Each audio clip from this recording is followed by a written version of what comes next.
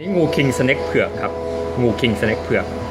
เป็นงูที่ไม่มีพิษครับ มีลำตัวสีขาวเผือกนะฮะ หาชมได้ยากตามธรรมชาติ และมีพฤติกรรมกินงูด้วยกันเองนะครับ